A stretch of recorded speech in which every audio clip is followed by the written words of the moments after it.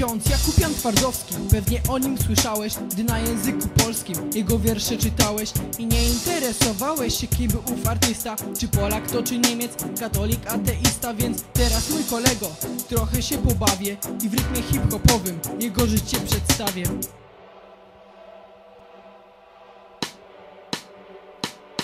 Jest 1 czerwca 1915 Jan i Aniela doczekali się dziecka trzeciego. Nazwali go po ojcu.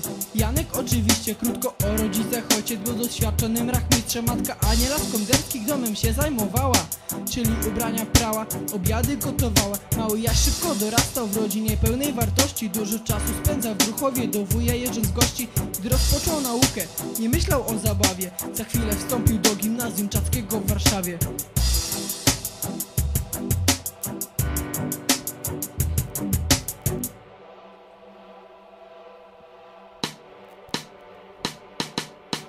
Publikował swe utwory od 33 i dodawał je do pisma międzyszkolnego. Zaczął również prowadzić poradnik literacki, w niektórych utworach nie dorównywał mu słowacki. Powrót Andersena, tak nazwał tomik pierwszy, gdzie po zdaniu matury umieścił kilka wierszy. W 36 Janek polonistykę studiował, a w czasie wojny jako żołnierz AK wojował. W 39 absolutorium dostał, a w 47 pracy magisterskiej sprostał. W powstaniu warszawskim walczył o wolność Polaków, jednak został ranny i opuścił drużynę wojaków. Nastał koniec wojny, lecz nie koniec problemów. W 45 ojciec Janka umarł, a on nie mógł poradzić sobie z bólem, bo z ojcem był związany. Wstąpił do seminarium, do tego powołany. Święcenia przyjął w lipcu 48 z rąk biskupa warszawskiego Wacława Majewskiego.